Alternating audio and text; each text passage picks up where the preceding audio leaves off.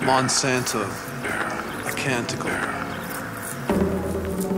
My saint, you have given me nourishment and abundance. Hear my prayer. For you alone are the patent holder. You alone are the licenser. You alone are the incarnate corporate entity. Hear our prayer.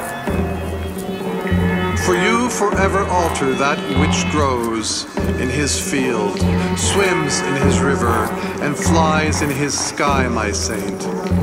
Turning green pastures barren and babes stillborn. In your infinite wisdom, you have designed the infertile seed and maximized the profit margins. For you have insider knowledge, my saint, of markets that are infinite and holy, that have yet to be sown by the hand of the Almighty. In your wisdom, my saint, you capped the horn of plenty, levied a surcharge on loaves and fishes, watered down the communal wine, adding fructose and aspartame, and blessing it in the name of Our Lady of the mysterious carcinogen.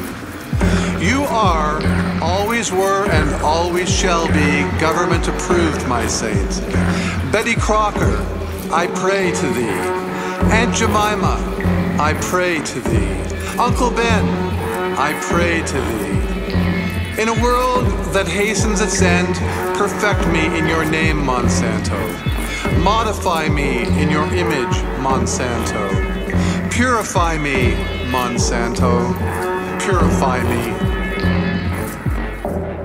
Purify me, my saint.